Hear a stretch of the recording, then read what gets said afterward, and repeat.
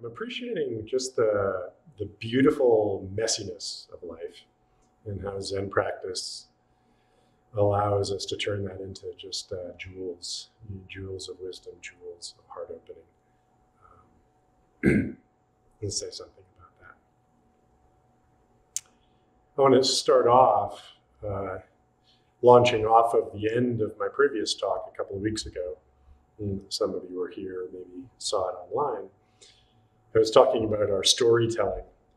we create stories out of our lives, and how I found in, in a recent episode of you know storytelling, I was in transition, and I found myself you know very immediately alive you know in the environment. But then I also found myself in kind of going into story really quickly. You know, and it, uh, I just could see how I was telling certain things about myself and certain feelings about myself and my life were just coming up. And I really had, had a, a perspective on it, a witness of it, and how kind of shallow and artificial and almost meaningless, you know, that storytelling was. So I wanted to encourage, you know, us all in, the, in this practice of just really living fully in the in the living presence of our moment, because that's that's beyond and within all of the stories that we tell. That's the real essence essence of our lives is that living presence. And I thought we had a really nice discussion around that. People appreciated how it, it could, um, the storytelling can kind of get us off kilter, you know, or even get us um, perversely motivated. But there was, there was also a sense of, well, what about the value of these stories? Is there value in reframing, or is there value in having these stories? And uh, I wanted to I wanted to delve deeper into that because I thought those those were really good questions, you know, that came up, particularly with with respect to you know reframing and value. So the I want to reiterate the the problem, as I see it, that we create when we do this storytelling is is that we really separate ourselves from the living presence of the moment, our real our real essence, and we tend to create. Um, sometimes a distorted view of what's going on, but certainly a limited view of what's going on. Because really, this whole universe unfolding is incredibly implicated and interconnected. So when we tell that personal story, you know, we tend to have ourselves as the main protagonist, and we tend to overweigh our agency, you know, within this tale. So, you know, setbacks or mistakes tend to be understood in the context of this personal drama as our successes, um, which really is just a very limited view of this whole big catastrophe that's going on. That includes other people and, and collectives and universes and forces and dimensions, you know, beyond our understanding.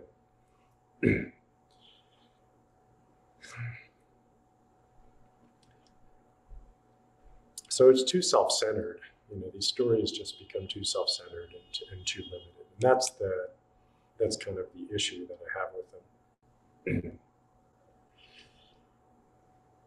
now, a reframing can be helpful. Okay? It can. It can. I think the primary value is in getting you to drop your previous story. And then you get a new frame and you go, oh, well, it might be this. And then that may, you know, help motivate and encourage you um, and help you to appreciate, you know, some of the finer parts of what's going on with your life. And then you apply yourselves to that, so you just appreciate more deeply the intimacies, the intimacies of your life. All right, I, I, got into some Dogen writings just today as I was putting together my uh, newsletter, Work newsletter, which I sent out just before coming here. I doubt anybody's read it yet, but I wanted to share some of the things from it because it's really there's some some Dogen writings I came upon which were just great. So this goes in the direction of um, a reframing, if you will, Right? So I want to talk about mistakes and looking at mistakes and how do we look at the mistakes in our lives. So some of you may have heard Dogen's teaching, uh, which is sometimes translated as a Zen master's life is one continuous mistake. You heard that? Yeah. So this is um, maybe more accurately translated is um, succeeding a mistake with a mistake. So it's mistake after mistake. A Zen master's life is one of mistake after mistake. Okay, so a little different from one continuous mistake, but kind of kind of the same thrust to it. But I actually like this one even. Mistake after mistake after mistake. Now, he says a Zen master's life can be a life of mistake after mistake after mistake. And that can be holds holds a real key, which is that it all depends on how you look at the mistake. If you think if you think all you're doing is constantly making mistakes, that's not Zen inquiry. That's actually not the Zen way of viewing those mistakes. But if you view it in a certain way, now it becomes Zen practice. And that is not only Zen practice, the Zen life, is to look at it this way. So, what is that way of looking at it? well, Dogen tells a story of walking in the woods. Um, I don't think I need minutes for this because it's pretty pretty short and sweet. Um, so I'm paraphrasing a little bit. But this is in the Shobogenzo. Dogen goes for a walk in the woods, and he writes this account the next day. He said, "Last night, yesterday, yesterday afternoon, I went for a walk, and I unintentionally stepped on a turd." And the turd suddenly opened up heavens and earth. Then I unintentionally stepped on the turd again, and it revealed itself to me as Shakyamuni Buddha. Then I stepped on, unintentionally, I stepped on his chest. And the heavens opened for him. He sat on the Vajra seat and had his great awakening experience.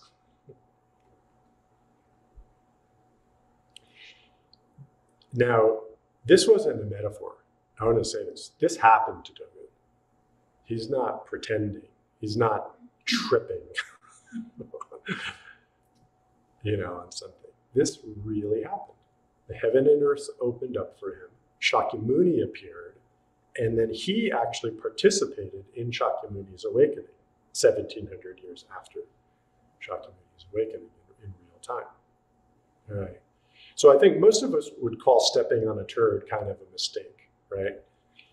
Understood as it goes against your intention, right? You intend to do something in a certain way and you fail at it, or you do something that doesn't appear to serve that purpose or that path in the way that you expected it to be or the way that you wanted it to be.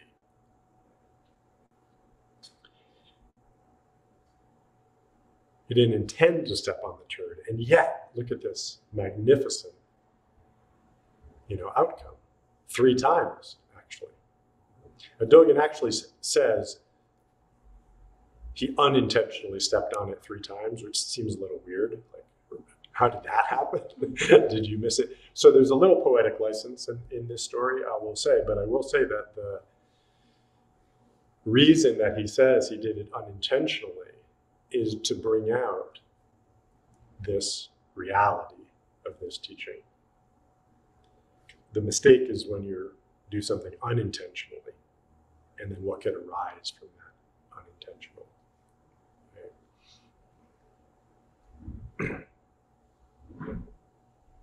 So if we can look at ourselves that way, and maybe this is a reframing. Maybe this is a reframing. I don't know. We may call it that. That all of our mistakes are actually gateways to awakening, or can be. Right? If we look at it that way. but certainly, Dogen was primed for this experience. because of his practice. and only then, I would say, was he able to experience Buddha in the turd, right? because he was primed for that. So that's what our practice gives us, is that, that ability to do that. Left to our own devices, you know, previous to practice, you could say. The story is that stepping in a turd is bad. Okay? And perhaps most people go through their lives absolutely convinced that stepping in a turd is always bad. Never want to do that. If that worldview prevails for you, you're going to be looking at your life in a certain way. You're, in a sense, you're going to be locked into that. But the Dharma, you know, is teaching us and, and inviting us to look at our life in a completely different way. And I would say that context, that reframing, if you will, is much bigger, much bigger, much bigger than this self centered story that we're telling about ourselves.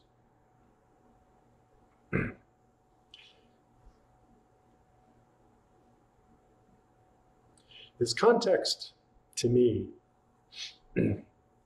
it's the context of karma.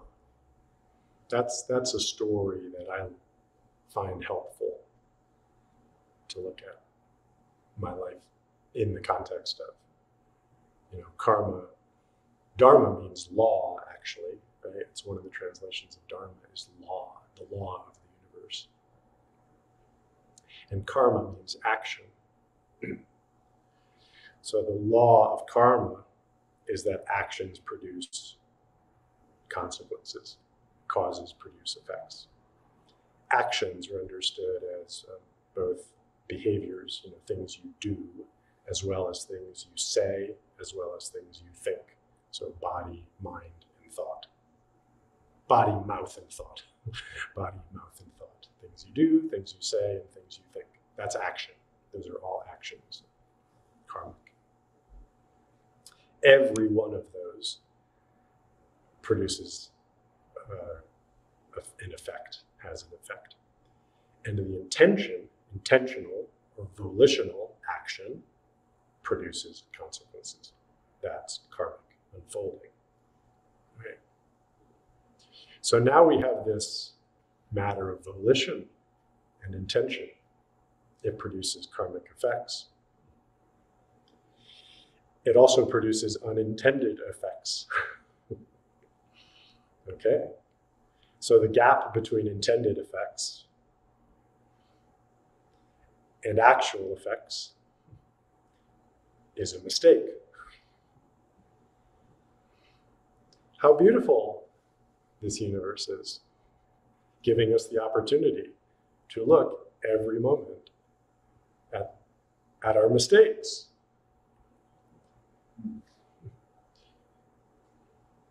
We will never have the intended effect of our, you know, I should say, we will never get to a place where the intended effects of all of our actions unfold exactly as we intend them. Come on. Please don't set the bar that high. More likely, you know, it will be a mess. And we'll have some some effects and some and some won't be there. yeah. So you could say, well, what if I don't have any intentions? I won't make any mistakes. right? And that's true. Yeah, that's true. You, you could you could sort of seek to live in that way. But that's not the Buddhist way. It's not the Mahayana way. You know, I mean, honestly, you you couldn't really do that anyway. You know, it's, it's basically hiding, right? You're just gonna you're just think, oh, I just want to live purely and not have an effect on anybody. I'll just go with the flow, no matter what. Yeah, right. more likely, you'll just live a small life and make sure that things that you only experience flows that you can go with. right? And then even then, your loved ones will die and your body will fade and you'll wrestle with the difficulties and challenges of life. So it's not really an option. Better to have a big vow, to have a big intention, to have a big purpose, a big goal, a big intention. Yeah, our bodhisattva vows, not only are they big, they're impossible. Save all sentient beings, receive all dharmas. You know, numberless creations I vow to receive. Numberless creations. Really? Wow. They're, they're expli- explicitly phrased in this just mind blowing way, kind of impossible. You can't really do that. And this is why to recognize that we're going to fail, we're going to make mistakes. And to accept that, not only lovingly, but, but with almost a scientific wow, what an opportunity to now keep going with this and, and create uh, uh, a work of art out of my life that folds all of those wrong notes and misstrokes and oopses into some, you know, masterpiece of messiness. Right? That's that's the way of being with your life that I would uh, invite you into. And to bring it, you know, back to Zazen, because I want to bring everything back to Zazen. It's the main doorway of our practice in Zen, is to be able to reflect on your life in this way, to introspect in such a way that you can see, that you see, that you are not this story that you're telling yourself. That you are you are this profound energetic unfolding that is powerfully seeded by your own intentions. And then watch what manifests from that. And that you can choose. It becomes almost like a food a feedback loop instead of a food back loop. It's, it's kind of that too. mistake. Was that a great mistake? feedback loop, a feedback loop of reflecting and doing in consequence, doing in consequence. Yeah. the is, is really it's really powerful and really and quite profound. To take a little bit of a sidestep on my main theme here, I just want to um, appreciate how um, inexorable I guess I would say. The karma is certainly inescapable. Um, I found in my own life that the things that I avoided for a long time got presented back to me in a way that I, I quite beautifully had a choice whether to accept the things that I had been avoiding or to continue to avoid them or to go in a different direction. And I'm talking personally in my life about avoiding family commitments and relationship commitments. I did that for decades in my life. And then I was presented, and I knew I was avoiding it. I had a story that I was doing it for a good reason and I was making decisions about my life, all of which were true. Nevertheless, I was avoiding.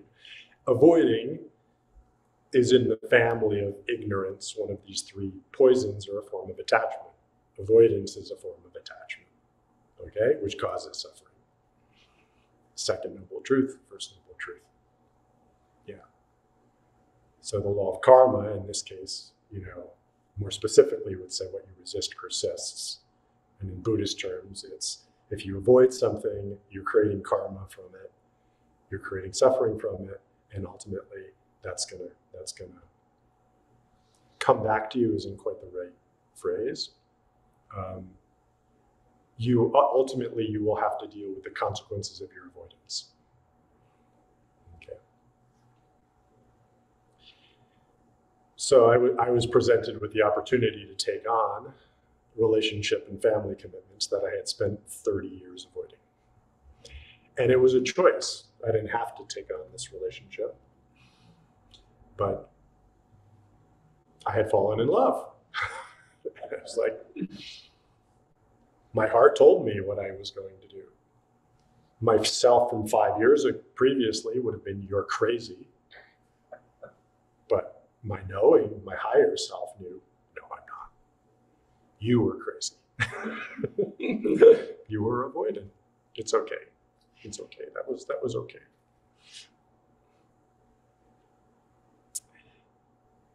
So that was beautiful. I mean, I'm so grateful that I was presented with an opportunity to, to you know, face this karma that I had created. Now I'm creating new karma, of course, because I'm volitionally and intentionally stepping into certain actions. But so I hope I'm creating you know more positive karma than negative karma. But ultimately, even that's a story too. I think there's a lot of truth to it. So I, would invite you to frame, you know, your lives in this way, in the bigger context of karmic unfolding, in the bigger context of the Dharma that you learn from teachings and from your own self-study. And to continually, you know, recognize your own perfection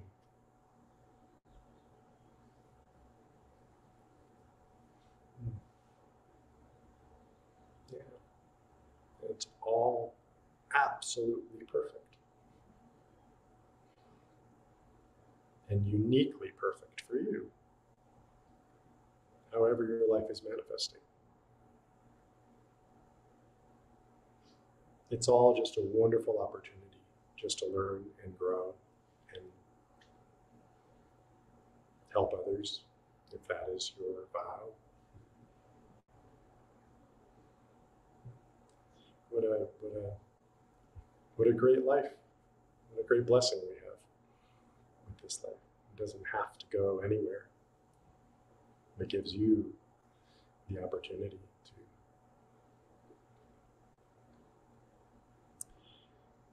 look deep within yourself and discover what it's all about, what's inspiring to you.